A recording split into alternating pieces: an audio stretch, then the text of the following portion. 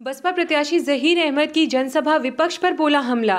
बस्ती ज़िले के कप्तानगंज विधानसभा 308 में आज बसपा प्रत्याशी जहीर अहमद उर्फ़ जिम्मी का जनसभा का कार्यक्रम अपार भीड़ देखकर प्रत्याशी गदगद हुए और उन्होंने जनसमूह से अपील की है कि एक बार मुझे विधायक बना दो। मैं जनता से हर दुख दर्द में शामिल रहूँगा। इसी क्रम में वक्ता के रूप में सीताराम शास्त्री ने कहा, बसपा सरकार में हर वर्ग को देखा गया और बसपा की सरकार में अधिकारी समय से आते थे, कार्यालय और गरीबों की सुनवाई होती थी। जब से बीजेपी सरकार आई है, गरीबों को हाशिए पर खड़ी कर दी है। हमने संकल्प लिया है कि अगर आप लोग हमको चुन करके विधानसभा पहुंचाएँगे तो हर गरीब, मजलूम भाई का सुख में, दुख दर्द में हमेशा साथ रहूँगा। मैं सभी भाई और माता बहनों से अपील करता हूँ कि एक बार हमको विधानसभा में पहुंचाइए और कप्तानगंज का विकास देखिए। मैं अपने दम पर कप्तानगंज के विकास के लिए संकल्प कर रहा हूँ। जहर अहमद ने कहा, आपके विधानसभा क्षेत्र का बेटा हूँ, इसी धरती पर पैदा हुआ हूँ, इसी धरती से चुनाव लड़ रहा हूँ। सपा को बाहर भगाओ। सभी मतदाताओं से अपील है कि 22 साल सरकार मंत्री रहने के बावजूद भी विकास का कोई कार्य नहीं किया। आज अपने गाँव पड़ोस का कोई बेटा चुनाव लड़ रहा है, उसका समर्थन करने के लिए आपसे अपील करता हूँ कि आने वाले तीन तारीख को आप लोग भारी मतों से विजयी बनाइए, जिससे आपका विकास हो सके, आपके क्षेत्र का विकास हो सके और गरीब मजदूरों की दवा में भी भागीदारी बनाऊँगा। आने वाले समय में अगर सब मिलकर ही हमको विधायक बनाएँगे तो हम सभी को विधायक का पावर देंगे और कोई भी मेरी ज़िम्मेदारी है, आपको जहीर अहमद आपसे वोट की मदद मांगेंगे।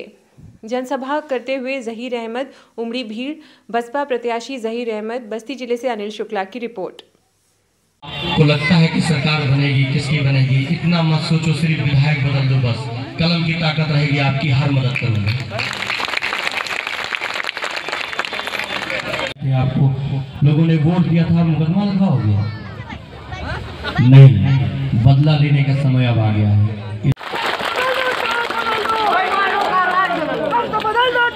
मैं मुकदमे के पास भी नहीं जाऊँगा। बस आप लोग भरोसा करो, एक बार मुझे विधायक बना मैं मुकदमेबाज नेता नहीं बनना चाहता है। ये दोनों विधायक जो रहे अब तक ये मुकदमेबाज नेता है इनको हटा दो। मिली थी हमको वो तिरछ बाज़ार की मिली थी और यहाँ पे हमने जो है हाँ परमिशन के हिसाब से कम भीड़ इकट्ठा किया है और नहीं तो जनमानस तो बहुत आ जाते हैं बहुत कप्तान इनके विधानसभा के लोग।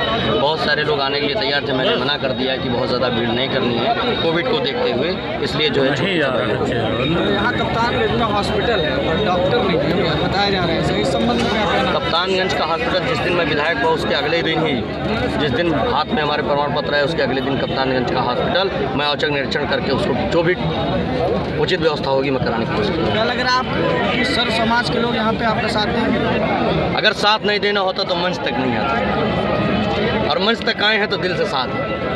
अच्छा जनता आपको चुन लिएगा तो आप जनता के लिए क्या कर सकते हैं? क्या करेंगे? जनता के मुद्दे बहुत हैं और ख़ासकर यहाँ कप्तानगंज में हर मुद्दों को लेकर लड़ता रहूँगा लड़ता रहूँगा जब तक मुद्दे का रास्ता नहीं निकल जाए। जैसे अगली सरकार जो है कह रहे कि जनता को हम दे रहे हैं अनाज। उस पर आप क्या कह रहे हैं? देखिए सरकार किसकी भी बने बहुत सारी सरकारें बनी आई और गई।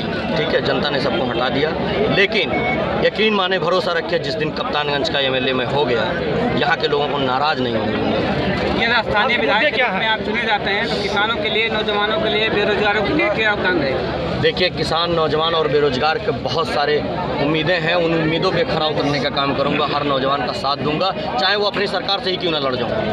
कल बहन जी आ रही हैं बस्ती जी। उस संबंध में क्या कहना है आपका? बहन जी आ रही हैं आप देखिएगा आप लोग वहाँ कवर करिएगा अपार अपरम पार भीड़ होने जा रही है बहुत बहुत धन्यवाद।